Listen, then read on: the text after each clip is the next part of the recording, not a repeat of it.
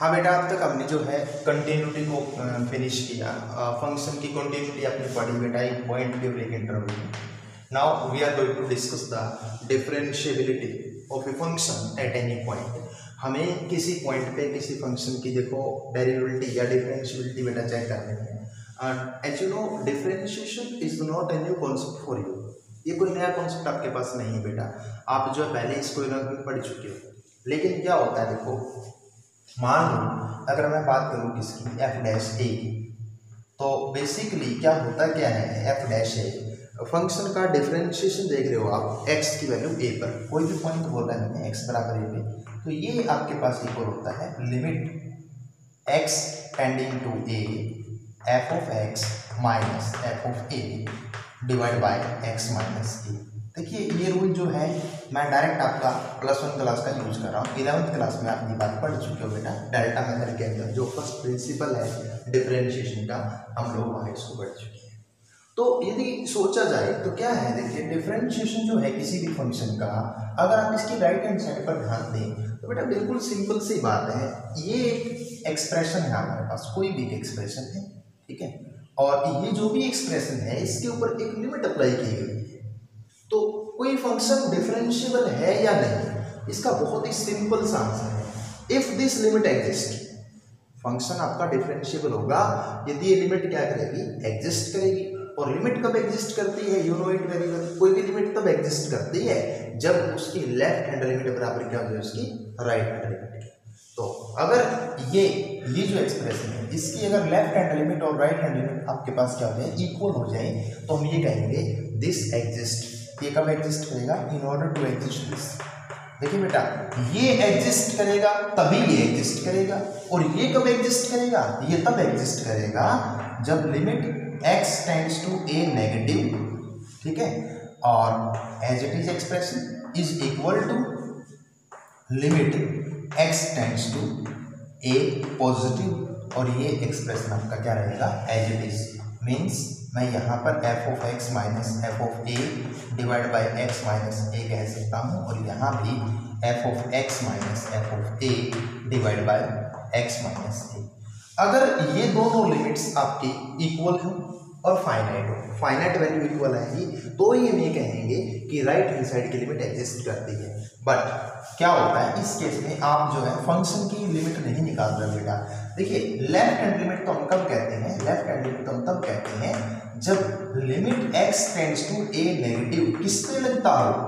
Function पे। लेकिन अब जो है लिमिट तो लग रही है ए नेगेटिव लेकिन वो फ़ंक्शन पे नहीं लग रही। वो फ़ंक्शन माइनस फ़ंक्शन की ए पर value divide by x minus a पर लग रही है। तो कैलकुलस की लैंग्वेज में इसको बोला जाता है लेफ़्ट हैंड डेरिवेटिव इसको क्या बोलते हैं लेफ़्ट हैंड डेरिवेटिव और इसको क्या बोलते हैं? इसको हम बोलते हैं राइट हैंड डेरिवेटिव तो यह आपका डिफरेंशियबिलिटी का आंसर होगा कोई भी फ़ंक्शन का डिफरेंशिएशन यानी एफ़ डैश ए तब एग्जिस्ट करता है जब हमारे पास उस पर्टिकुलर पॉइंट पे जहाँ पर आप उसका डिफरेंशिएशन चेक करते हो वहाँ पर लेफ़्ट हैंड डेरिवेटिव बराबर क्या आएगा right hand derivative so always keep in mind in order to be a function differentiable at any point. Uh, at that point, left hand derivative of the function must be equal to the right hand derivative. अब ये तो बेटा theoretical बात है कुछ बच्चों को ये पॉइंट समझ में आया होगा कुछ बच्चों को हो सकता नहीं भी आया होगा मैं एक दो एग्जांपल आपके सामने रखता हूँ क्वेश्चन सोल्व करते हैं, उसके बेस पर आपको पता चलेगा कि ये वाकई ये कैसे होता है। जैसे देखो, ये क्वेश्चन अपन चेक करते हैं। We are given with a function देखो आपको एक फ़ंक्शन दिया गया है और मैं क्लियर कर देता हूँ पहले ही आपको एक चीज़ कि फ़ंक्शन आपका नॉन यूनिफॉर्मली डिफाइंड है बेटा पीस वाइज डिफाइंड है। फ़ंक्शन की वैल्यू एक्स रहेगी। अगर एक्स एक से छोटा है टू माइनस एक्स रहेगी, अगर एक्स की वैल्यू एक और दो के क्लोज इंटरवल में लाई कर रही है, या फिर इस बात को आप ऐसे भी कह सकते हो कि x is greater than equal to one और less than equal to two, और minus two plus three x minus x square रहेगा फ़ंक्शन, अगर x आपका ग्रेटर देन टू है। अब क्या कहता है? Check, it's differentiability at x is equal to one and x is equal to two. First of all, मैं आपको ये क्वेश्चन सॉल्व करवाता हूँ at x is equal to one. देखिए ठीक है? At x is equal to one पे, ये डिफरेंशियबल है या नहीं, इसको चेक करने के लिए आपको क्या करना पड़ेगा? आपको कैलकुलेट करना पड़ेगा, बेटा इसका left hand derivative as well as right hand derivative तो फॉर्मूला लिखिएगा। लेफ़्ट हैंड डेरिवेटिव का फॉर्मूला क्या था? जैसा मैंने यहाँ दिखाया आपको limit x tends to a negative अब ए की जगह कौन है बेटा? वन है। तो लिमिट में आप क्या करेंगे? X tending to one negative as per the formula क्या लिखोगे बेटा? F of x f of x ठीक है? माइनस में एफ़ ऑफ़ क्या है वहाँ पे? ए ए बट यहाँ पर ए का काम कौन कर रहा है? वन तो एफ़ ऑफ़ वन और डिवाइड बाय क्या होगा बेटा? X minus now use the values अब देखिए बेटा. Limit x tending to one negative देखिए, इसका क्या मतलब है? वन नेगेटिव इसका मतलब है कि x is somewhat less than one x जो आपका है, वो वन को लेफ़्ट हैंड साइड से अप्रोच कर रहा है बेटा। रियल नंबर लाइन पे यहाँ यदि वन है तो एक्स टेंड कर रहा है फ्रॉम दिस साइड और इस साइड से वो टेंड कर रहा है तो उसकी चाहे कितना भी क्लोज हो, लेकिन वन से स्लाइटली क्या रहेगा? लेस रहेगा। So for the less than one आप जो है एफ़ ऑफ़ एक्स के स्थान पर क्या रख सकते हैं? एक्स रख सकते हैं। इसीलिए मैंने इसकी जगह पर क्या रखा बेटा? एक्स रखा। नीचे एक्स माइनस वन अच्छा एफ़ ऑफ़ वन का क्या मतलब है बेटा? What is the meaning of f of one f of one का मतलब ये है कि एफ़ एक्स में किसी ने एक्स को इक्वल कर दिया वन के एक्स के equal to one equal to one किस कंडीशन में है? इसमें। तो अगर एक्स वन के इक्वल है तो देखो यहाँ पे एक्स को अगर हम वन रखें तो वैल्यू यहाँ रखी जाएगी? नहीं, क्योंकि तो लेस देन वन के लिए है। यहाँ रखी जाएगी?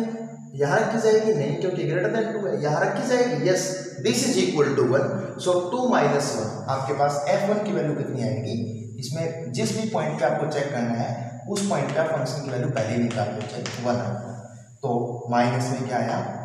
अब देखिए, ऊपर भी एक्स माइनस वन नीचे भी एक्स माइनस वन तो ये एक्सप्रेशन आपका क्या हो चुका है? वन क्योंकि एक्स वन के इक्वल नहीं है तो लिमिट इसकी क्या हो गई? वन हो अब मैं चेक करता हूँ इसका राइट हैंड डेरिवेटिव देखिए.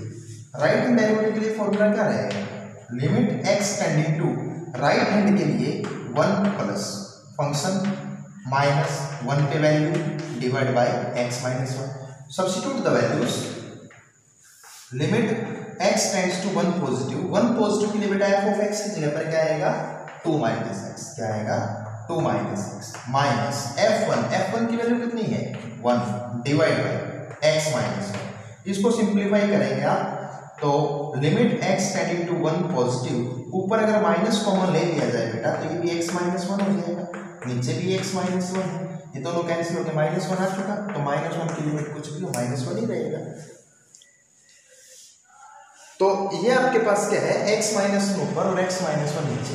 दैट इज़ माइनस वन अब आपने क्या नोट किया बेटा? लेफ़्ट हैंड डेरिवेटिव आपके पास क्या है? वन और राइट हैंड डेरिवेटिव आपके पास क्या है? माइनस वन तो आप क्या नोट कर रहे हैं? ये भी फाइनाइट वैल्यू है, ये भी फाइनाइट वैल्यू है but they are not equal वो दोनों तो बराबर नहीं है तो L H D is not equal to R H D left hand derivative is not equal to right hand derivative so we can say that this is not differentiable at all इसी तरह आप जो इसको to पे check करते हैं। चलो करते हैं नेक्स्ट पार्ट में। हाँ तो बेटा एक पार्ट हमने सोल्व कर दी इसके डिफरेंशियबिलिटी हमने चेक की। बेटा वन पे और क्या पाया कि this is not differentiable at one यानी कि वन के ऊपर इसकी कोई ऐसे टेंजेंट एग्जिस्ट नहीं करेगी बेटा, जिसका कि स्लोप क्या हो? फाइनाइट हो। अब इसका अगला पार्ट देखिए। एक्स बराबर दो पे इसको चेक करना है। एक्स बराबर दो पे। सेम टास्क आपको करना है। और वो एक चीज़ मैं आपको क्लियर कर देता हूँ। बेटा एक्स बराबर दो पे अगर आपको चेक करना है तो आप एफ़ ऑफ़ टू वैल्यू निकाल के रख लो, काम आएगी आगे। F of two when x is equal to two see the condition this one अगर मैं एक्स की जगह पर टू सब्सटीट्यूट करूँगा ना तो टू माइनस टू क्या हो जाएगा? ज़ीरो ये वैल्यू आपके काम आएगी। फ़ंक्शन की दो पर वैल्यू क्या है बेटा? Zero then after you know left hand derivative हम बात कर रहे हैं किसकी? एट एक्स बराबर देखिए, जिस भी पॉइंट पे बात करनी है, उसी वैल्यू के लिए फ़ंक्शन की वैल्यू को नोट करके रखें। एल एच डी निकालता हूँ बेटा। Limit x tending to two negative function minus two पे फ़ंक्शन की value divide by x minus two देखिएगा limit x tends to two negative under this condition f of x की जगह पर क्या आएगा? बता सकते हो? Two negative less than two less than two कहाँ है? देखिए लेस देन टू यहाँ है। टू माइनस एक्स तो ऊपर क्या आएगा? टू माइनस एक्स माइनस में कितना बेटा? ज़ीरो वो नीचे क्या है? एक्स माइनस टू ऊपर टू माइनस एक्स नीचे एक्स माइनस टू क्या लिमिट माइनस वन अब मैं राइट हैंड को चेक करता हूँ limit x tends to two positive function minus two पे फ़ंक्शन की value divide by x minus two so limit x tends to two positive what is the function when x is two positive देखिए बेटा more than to के लिए function क्या रहेगा? ये रहेगा। नोट करते हैं, ये आपके पास minus two plus three x minus है एक्स स्क्वायर और माइनस में ज़ीरो है और डिवाइड बाय क्या आपका? एक्स माइनस टू तो इसके अंदर आपको पता है कि लिमिट टेंड रही टू को ज़ीरो अपॉन ज़ीरो फॉर्म में जाएगा, जो कि फिजिबल नहीं है। तो दो अप्रोच हैं आपके पास, या तो आप एलोपेटल यूज़ कर ले बेटा, या फिर आप इसके फैक्टर कर ले। चलो मैं एलोपेटल यूज़ कर देता हूँ। Limit x tends to two positive L'Hopital क्या कहता है? कई बच्चे इसको एल हॉस्पिटल रूल भी बोल देते हैं। इसका डिफ्रेंशिएशन कर दो बेटा। क्या आएगा? माइनस टू का ज़ीरो थ्री एक्स का थ्री माइनस टू एक्स और इसका डिफ्रेंशिएशन क्या हो जाएगा? वन टू का ज़ीरो। अब ये सब्सिट्यूट कर दो। तो थ्री माइनस टू टू जा फोर क्या आया बेटा? माइनस वन ये भी कितना आया? माइनस वन तो लेफ़्ट हैंड और राइट हैंड दोनों डेरिवेटिव क्या है?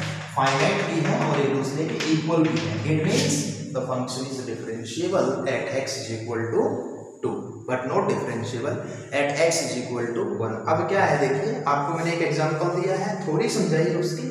आपको एक पाँच क्वेश्चन का असाइनमेंट मिलेगा ग्रुप में। व्हाट्सएप ग्रुप पे सेंड करता हूँ मैं सभी बच्चों को।